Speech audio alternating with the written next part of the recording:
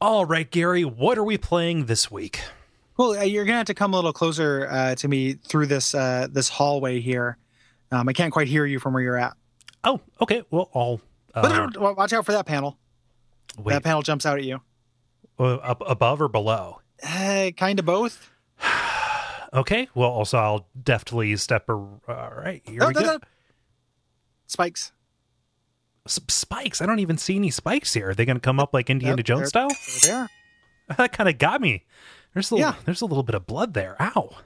Yeah. Well, I have band aids over here. Okay, I, I'm- think I see and what you're plenty doing. of first aid. Oh, okay, well I'll just That kind of Now, suck my it- get in around this around these spikes. Okay, check check your back pocket. Something reached out of the wall and stuck it in there. and pulling pulling it out, looking at it in front of my face. The flash drive. Huh. And if you put that into a PC, the PC uh, spikes come out of the PC and cut open your wrist. And Why would you do that Arm. to me? Huh? Because Is it just any PC? Huh? Any PC? Yeah, that, it's, it's your Mac immunity. That that does that finally served you well. that, that doesn't that doesn't seem to be a uh, that doesn't seem to be like a like a software thing or something you could do with software. Don't run it on wine. I'm Jimmy Pardo. Um, it's The I want to be the guy. I'm the ghost of Jimmy Pardo. okay. That- that's a that's a consistent Comedy Bang Bang goof. I don't. Oh, we could it? we could get a lot of mileage out of that, but I don't want to copy it. okay. Um, I just I accidentally did a Jimmy Pardo impersonation and I, had to. I, I think the fact that I don't listen to that show is hurting me in in laughing at things that I shouldn't encourage. Yeah, you're you're missing it because the, the Jimmy Pardo stuff is pretty good. I'm sure. Nassim Padron. Gary, Gary can, can- can you call off the traps and also restate what game we're talking about this time? oh, um, I want to be the guy. The movie.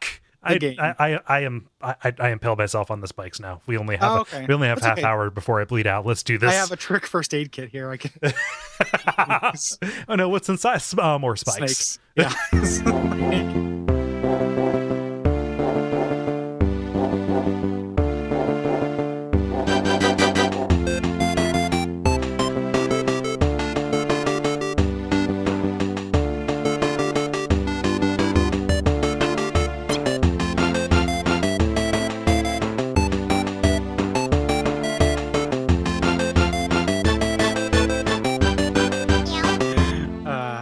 Gary Butterfield, I'm Cole Ross. and this is Abject Suffering, where we play the games that one specific guy, Yeah. Mark, tell us to play. Yes. so, um, one very specific, very generous person who was lucky enough to win our once a month raffle um, for Patreon here. And uh, he was very apologetic, uh, this Mark fellow, in uh, recommending this because uh, this, is, this is neither retro nor specifically bad. This Well, we is. don't. Yeah, we this this show is never meant to be a retro game. That's Right. Those are just the easiest things to emulate. Right. Yeah. And you know, we, we have a history of doing games that are secretly kind of good. This is just a, a a very strong emphasis on the suffering side of it. Yeah, it is mean spirited, but it's very interesting. Oh my like I, gosh. I don't hate. I want to be the guy. No, neither do I. In fact, in fact, I would say that the act of playing "I Want to Be the Guy" is something I'm pr- pretty much have never been interested in doing uh, ever since I kind of figured out the trick of the first screen. I was like, oh, this that, that that's what this is going to be then. Okay, um, but watching a run of "I Want to Be the Guy," it's it's one of the best expressions of comedy in a video game. I think. Well, it, it does that, and then it's also it can be a really amazing expression of skill too. Mhm. Like this is a really popular speedrun game um, on Awesome Games Done Quick, and uh, and then other kind of variants of it. Like I want to be the Boshy, which is a, another one, and it's very fun to watch people just know this inscrutable thing perfectly yeah. and just kill it. Yeah. So What's the uh, so you're a repository of this knowledge? What's the speed run record for this game? I can't remember. It's like it's less than an hour. Okay. Um, it's it's probably forty minutes or something like that. the, but the, the, video, the video that I've watched that seems to be the canonical one because it has like two million views, which is crazy. Um, it's uh, it's in five parts, um, and it's uh, it's about fifty minutes. Yeah, I think I think that's about what what it is. Yeah. because even the speedruns, you, you know, they're still deaths. um, so people who don't know what this is, um, like one dude uh, named Kayin uh, made this game, and he made it. It was inspired by a Japanese game called um, Awada. Mhm. Um, have you ever seen Awada? Have you looked that up at all? Yes. it's kind of neat looking. Mhm. Like it's it's all ASCII. Yeah. Like the art style of Awada is really interesting. You Mhm. play kind of an emoji. Um, but the uh, which is just like a hard subversive platformer game, and he was just like, I could do this harder and better, and kind of started like a whole thing. yeah, Like, and like the idea behind this is just that it's super hard. It's really iterative. Like you do trial and error, you know, to get through it, and it just subverts things. So like when you've seen those ROM hacks of Mario, where like you try to jump over a pit and you hit a coin block and it knocks you into a pit, like that's what that, that's what this is. again, as much as I hate be, like being like victim to that, it's still Mhm. funny to see because it, it it indicates a level of care. Yeah, like specifically crafting something to to like to, to to just fuck you, except for this one particular non-intuitive way to get around it. Well, the, he even talks about it. Um, like he has a FAQ on his webpage Mhm. Where he talks about someone being like, "Oh, you just make this hard as a substitute for good level design," and he says like, "This isn't." Have you seen it? Yeah, like people are saying like, "Oh, that you know, people don't say this very much, but sometimes people do say it." But here's why that's wrong. Like Uh-huh. you know, and it is true. Like it's not bad level design. No, it's That's it's not what that probably over designed is the thing, Yeah, and, and that's exactly what it does. really crafted. Like it's Uh-huh. crafted to like if you consider like level design to be um like an art or like painting, Yeah. Like you don't say that a painting of an apple is a bad painting of a gun. You know, like it is just a- or or vice versa, I guess would be more appropriate. Mhm. Like you say, you know, it is it is they're going for an effect and it's how well you achieved an effect. but in this case, both of them will kill you. Yes, And- yes, it's you know there's so much cyanide in apple seeds. but, but like it, t- taking that one step further if you consider level design to be like the imposition of your will and intentionality to create a space or an exp- Yeah. like like every single pixel of this is thought out and there are specific lines that he's asking you to take like watching the speedrun i'm like i'm not sure what i'm more impressed with somebody being able to get through this or the person who has basically managed to create all these safe and unsafe spaces with, like really just timing. Yeah. Yeah. And it ends up looking like any given screen, like almost any given screen of this game looks like at first glance like you could never do it. and that's where it ends up being fun is like, you know, then you eventually you do it. You get unlimited tries and you make it. Mhm. And you get to the next screen and, and die on that and stuff. And that's how it's how where the fun comes from. Which like is not for me, but is something I respect. Yeah. And it reminds me again, like I, I I brought this example up a thousand times, but like getting to the rafters in Anor Londo and Dark Souls and being like, I can't do this you know, this is unsure and I can't fight enemies on this kind of footing. And then like you just do it. And then you're like, okay, now I know I can do it. Yeah. Um, it's like that. And then there are also like there, there's there's whole like degrees of this kind of crazy super hard platformer. Mhm. And there are there are iterations of this I really like. Yeah. Like uh Super Meat Boy is great. Super Meat Boy, specifically, at least in the console version, has I want to be the god levels in it. Yeah, Which are and you fun. can Those play are- as the guy. Yeah, those, I mean, like those are great. I really enjoy those because like they're not as hard as this. They're just really meant to be double jump um Mm-hmm. kind of kind of sections, which is which is neat. Yeah. Have you ever played um one of my favorite uh, PSP exclusive games is a game called Prinny Can I Really Be the Hero? uh no, but that's the one where you have like a thousand and one lives. Yeah, you have a thousand lives. You you play as the little penguin guys from um The- the- from Dis Disgaea. Yeah, the dudes. Yeah, the yeah the little dudes, and it's it's really funny and charming. Mhm. Um, you have a thousand lives, and it's just a really hard platformer, and uh, you like end up needing them. Like I I never beat it. I got you know stuck at a point, but I was like, oh, I've I've played 450 lives of this. um, and you also eventually you get a superpower that lets you throw extra lives at enemies and use your use your one ups as a projectile, which I really love. That sounds delightful. Um, but it's and it, that one is really really thoughtfully designed too, and it's Mm-hmm. in the same way that Ghosts and Goblins is. Like you just can't control your jump Yeah.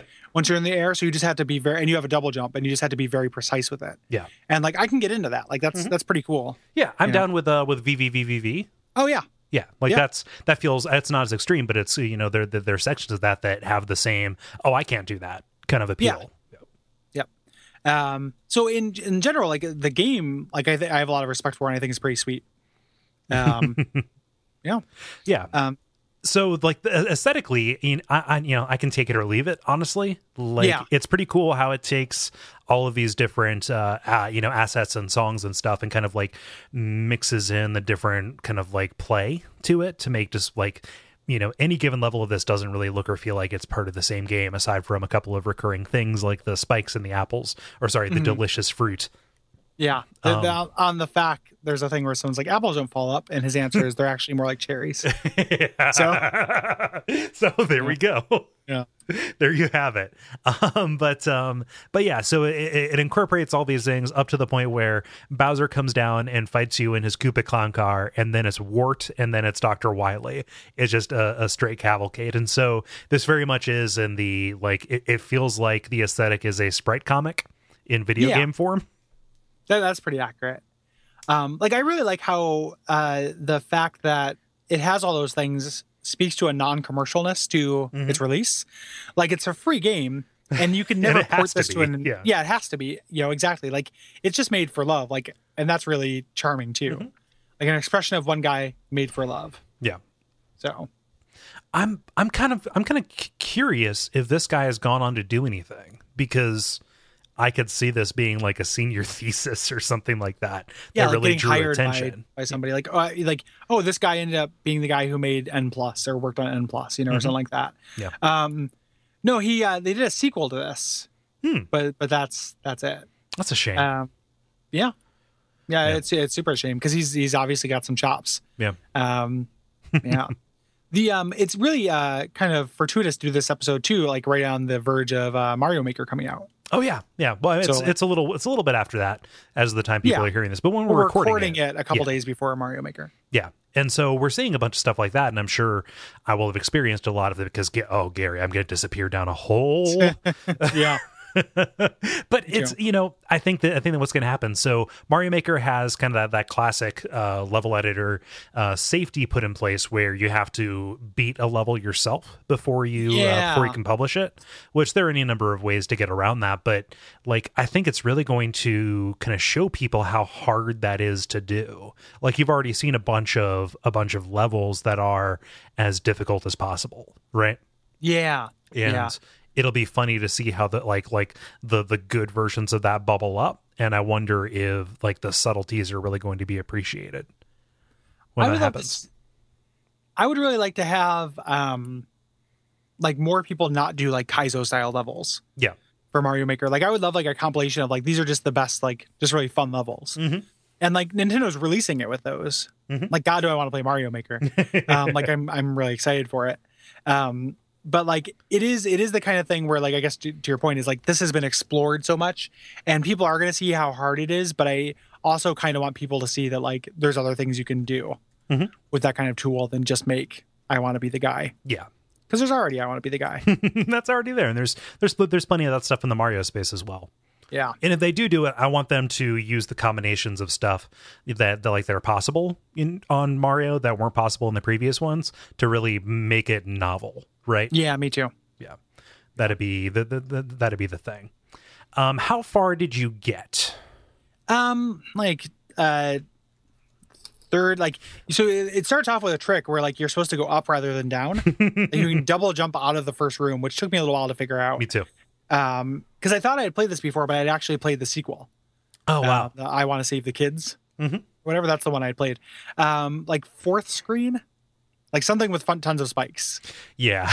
Yeah. So, yeah, uh, I I didn't get past the spikes in the clouds. Um, Yeah.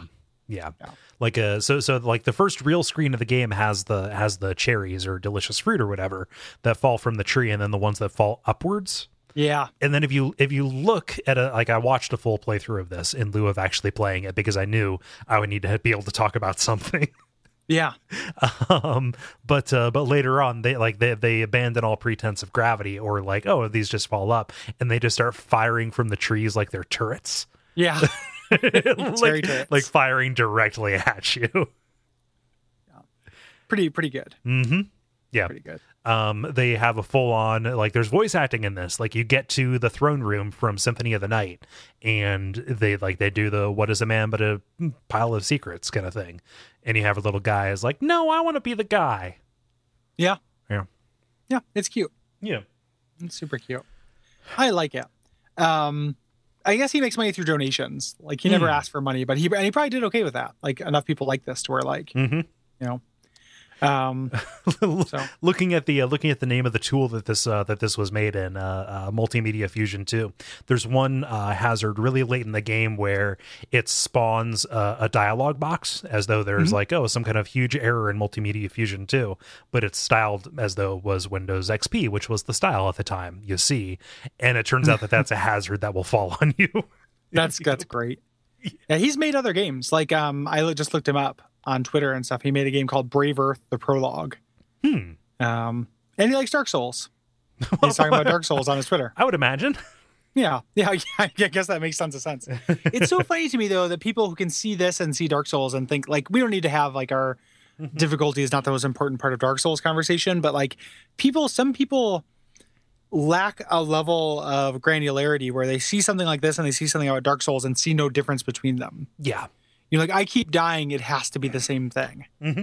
You know, and it's it's not like the one thing about something like I want to be the guy is that like it's not uh it's not like it, it is unfair. Like you're going to die mm-hmm. and stuff. It's about learning the thing and then mastering how to avoid it. Right. It's not about like paying attention to your environment to to avoid traps in the first place you know yeah yeah specifically avoid traps in the first place you know uh, like trying to notice the ones that are always going to get you because it, it, it does require trial and error because stuff will just come out of nowhere yeah absolutely yeah it just traps. Yeah. Whereas the first time you get hit by a by by a flying arrow and, and Dark Souls, you're probably going to notice the pressure pats and know to like know, know to roll. So totally. both both of them are like trying to teach you something. They're just teaching you different things. One is rote memorization, where, whereas the other one is trying to like more broadly make you aware. Yeah, observation. It feels like you know and that's not justification. That isn't us saying like oh well you're fans of dark souls so obviously anything that's difficult you're going to want to defend. Like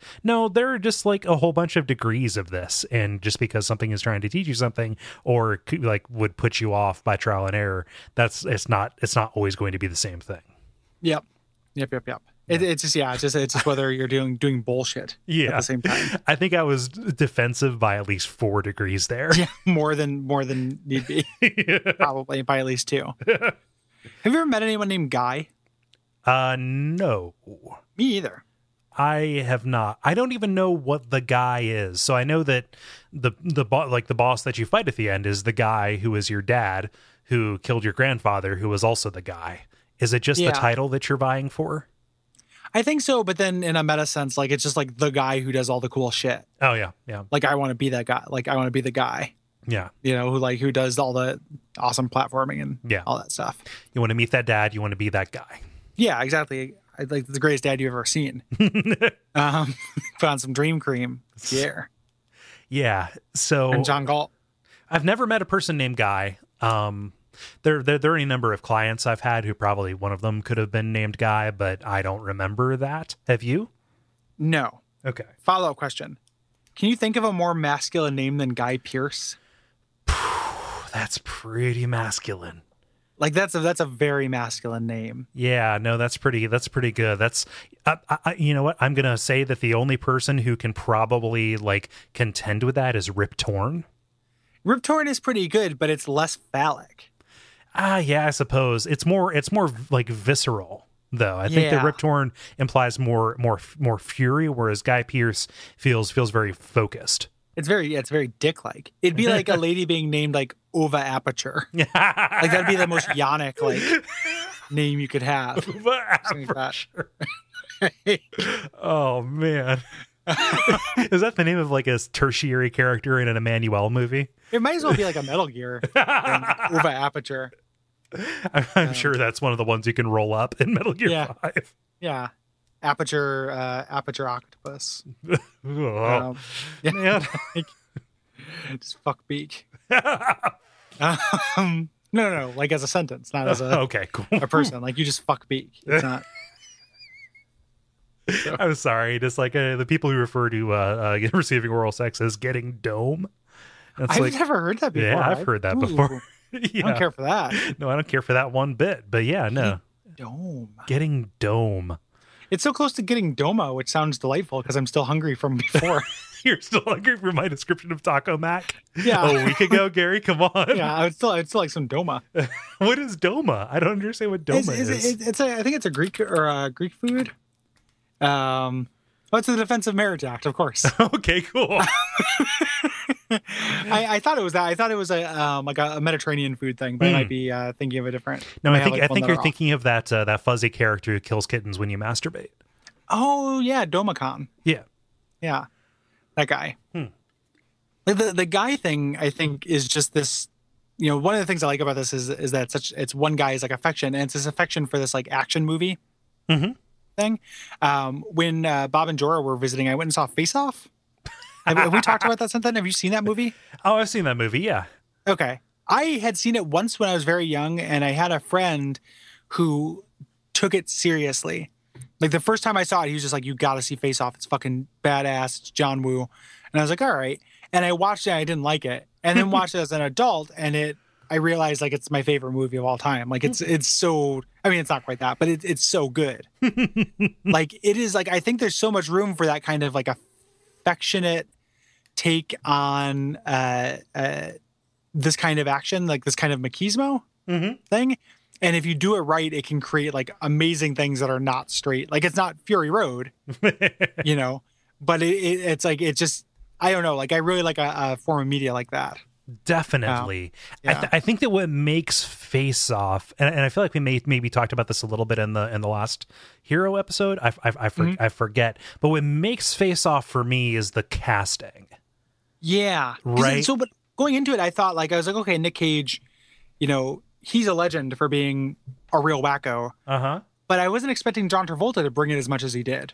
Like Travolta does a great job in that movie as well. Like everybody is just on point.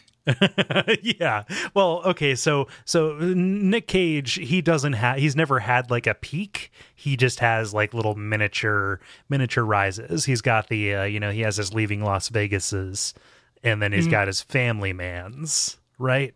Yeah. So he's just like a constant ebb and flow, although it's been mostly ebb since since The Rock, I think.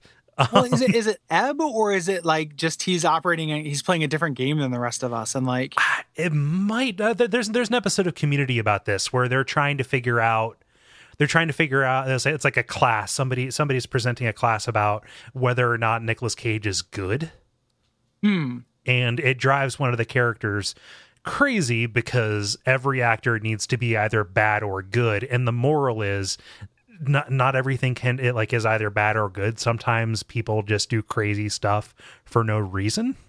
Yeah, and and that and and that explains Nicolas Cage. And that has been Cole's synopsis of a show that he watched recently like he's just it doesn't matter. Like he's good. It depends on the aim, right? It actually kind of comes back to that level design discussion because like if his aim is to be entertaining, uh-huh like he does it as well as anyone. it's hard to look away Yeah, he he is he is um like such a scene stealer. Mhm. Like he is he is arresting in in every possible sense. But it, it what it does is it transforms the movie around him into a certain kind of movie. right You know, like I think it's legitimately good. Like I think Face Off is a good movie. mm-hmm. Like it is it is not it's not just him. Like it, it is supposed to be it's supposed to be self-aware. Like it is supposed to be a little goofy yeah you know um and but you could you can't take it even if you wanted to even if that was not true and john woo was like no this is my epic meditation on like identity Like, exactly yeah it, it is if that was the case it would still be good in this way he didn't intend. How can how can you not be sure that you weren't face off in the middle of the night and you're living somebody else's life? Man, I didn't think about Man. that. is I- it, wait, wait a minute. Is is face off just basically another body body swap movie? Like is is is is, oh like is vice that, versa? Yeah, is, is that is that hardcore action Freaky Friday? um sure. I mean everyone knows about it. Like it's not a gypsy curse. It is a weird other thing but Yeah. um yeah more or less Wait, uh, okay, so I forget. It's been several years since I've seen this movie. Do they explain why their voices don't change? uh yes Okay. they put in um like electronics into their throats of course they did. Yeah.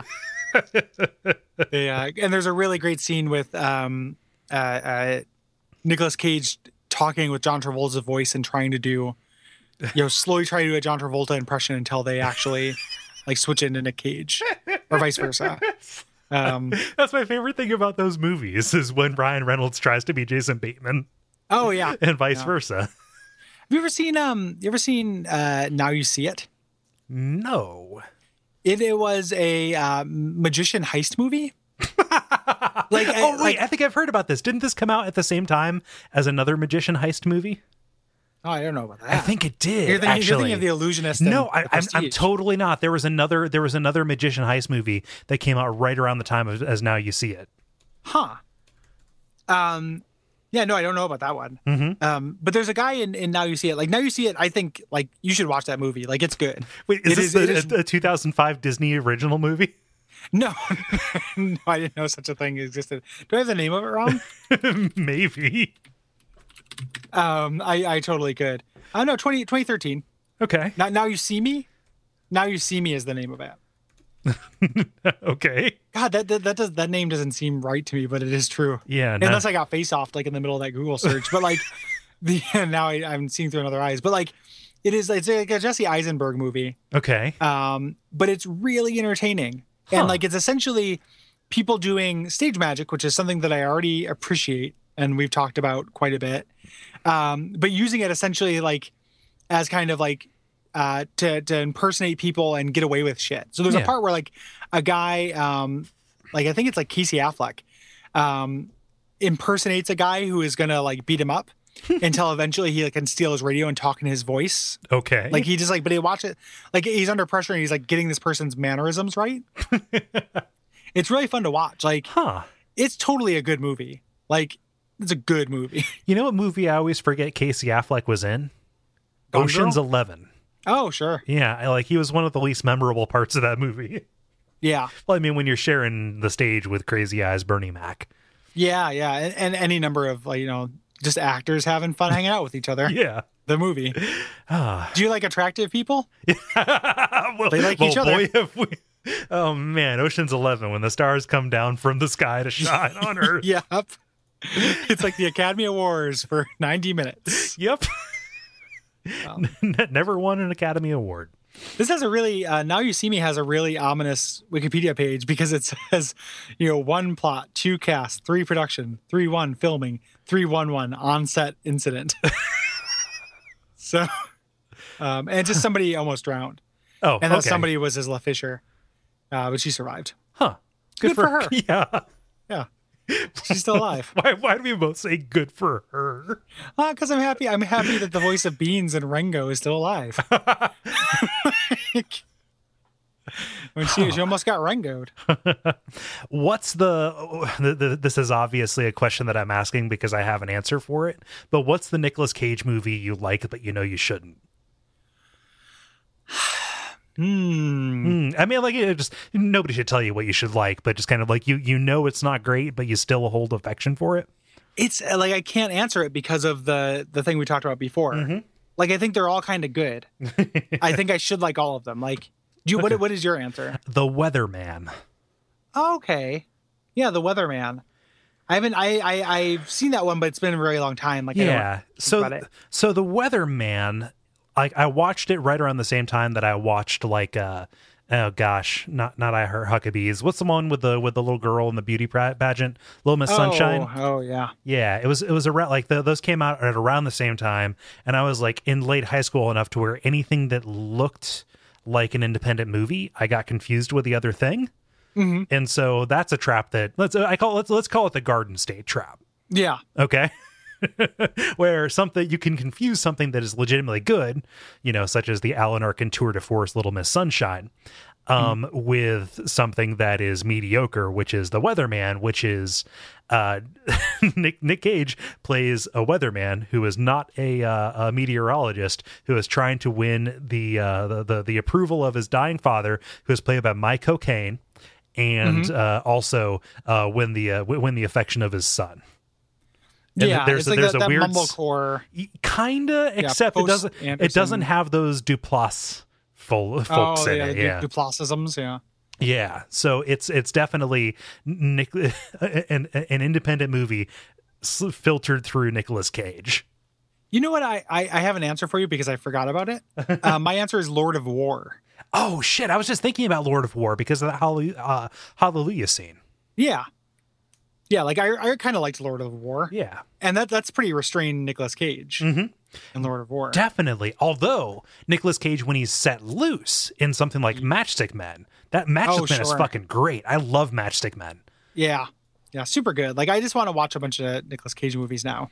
Hmm. Like this is making me want to like start a Nick Cage podcast. I'm sure there is one. Yeah, that's uh, But, like- it's, it's- it's called the Flophouse, but Yeah, like yeah, it's, it's called every bad movie podcast more or less. Like pretty much. It is that is everywhere. Oh, I forgot that Matchstick Men was directed by Ridley Scott. That that's odd. But no, Nicolas Cage, he's got obsessive uh, compulsive disorder, and it has Sam Rockwell, one of my favorite actors. Yeah. Huh. Man, and Nick Cage is such a like it's not a good movie, but Nick Cage was really good in Kick Ass. You know, I've Like never a- seen Kick Ass. Oh, like I mean, it's not really wa- worth watching, but he plays the, like a character who is essentially like a in the comics he's just like a like a Batman analog, Uh-huh. but Nick Cage makes the amazing choice to play him like uh, Adam West Batman, and it's really good. like he's like this like crazy vigilante, and he's just like really appropriate. yes, daughter of mine. Like he's he's very funny in it. Like Huh. it's really good. God, he's great. There we go. Huh. Yeah. Yeah, adaptation. That's wonderful. Well, like like adaptation has so much going for it beside Nicolas Cage. Like Yeah, but he's- that- he's that's really one good. that's one of the things. That's one of the few movies that actually doesn't revolve around him. I don't think. no, it doesn't. Like he actually disappears into the role for like once in his life. So huh. we'll see if he does during uh, the Croods too, as the voice of Grug. So God.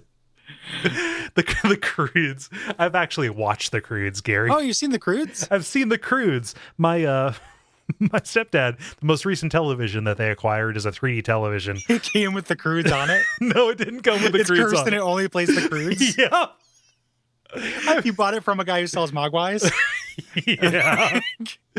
you know, if you don't hold on to it and like hold a hand up into the sky to catch the right reception, it plays the Croods. Man, there's like there's like a, a button that you have to press. You can't put anything on, like it's at an angle or something. Uh huh. Like a button on the side at a 45 degree angle that you have to press, or it plays the Croods. like we got to start like a cursed, like cursed appliance store yeah. like that. Well, no, it'd just be uh yeah, definitely. Huh. I like that. I, I just uh this is something is deeply discounted. Like we, we have to do this at a loss because you have to get the parts, right? You have Yeah. to buy you have to buy a television and make it worse. Yeah. Um, make, Yeah, make it worse in one leader. specific way and then Yeah. sell it because you can't make it better, right? Like a television is just going to be a television. Mm-hmm. You know? But so you have to you have to sell it to where it seems like a steal, except Yeah. The name of our business will be Two Crudes Dudes. Cruise with attitude. yeah, Crudes with Attitude is also good. There we go. Rad Crudes. Um, I've told you so, so.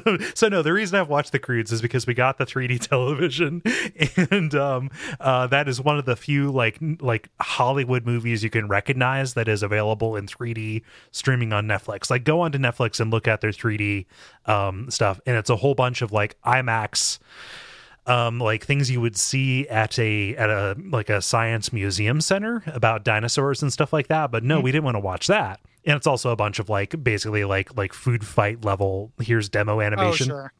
but here's here's the croods and you know let's watch this because we have four four pairs of glasses and i'm like i want to watch a 3d television and Yeah. so it's there i've And then you got Cursed with the Croods. yeah, I, I can swear I've told this story, and you can tell me if I'm repeating myself. Have I told you about uh, the Death Guru? Um, tell me, uh, not based on the name of it. Okay.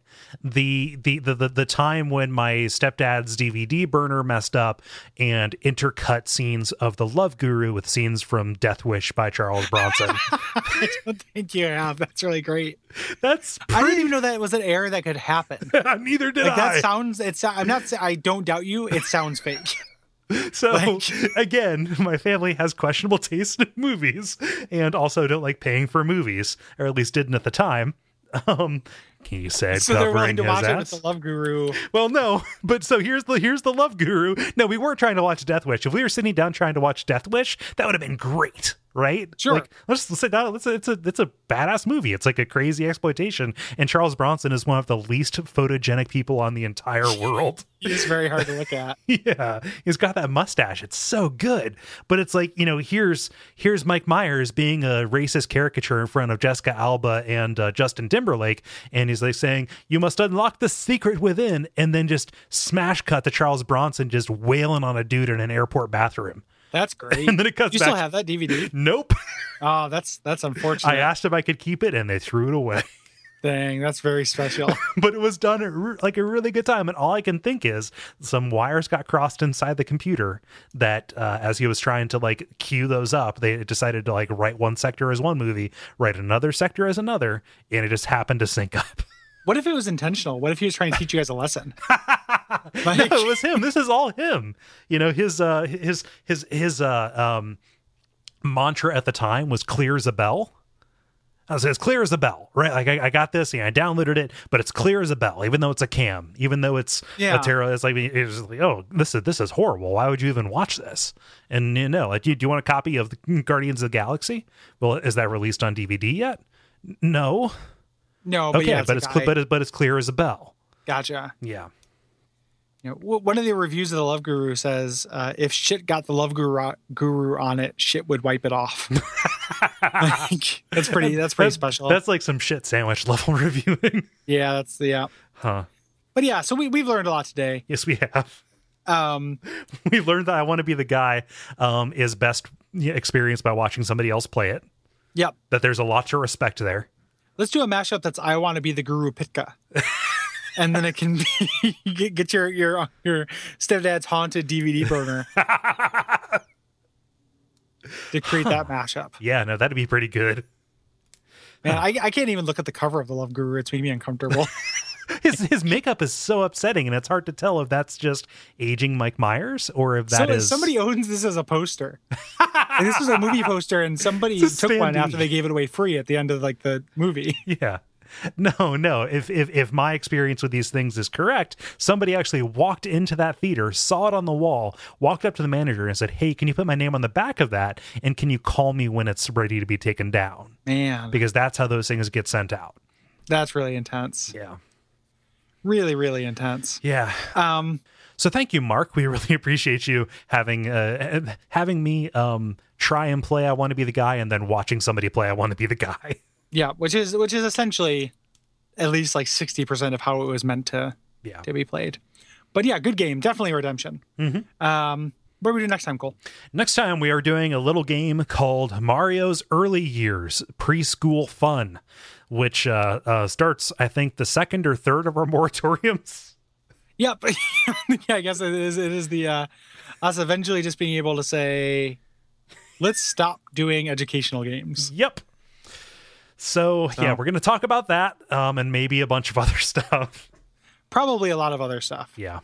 I wish that there was more to talk about with Mario. Uh, Mario's early days. I want I want the moratorium to exclude Mario is missing because that's actually pretty fun.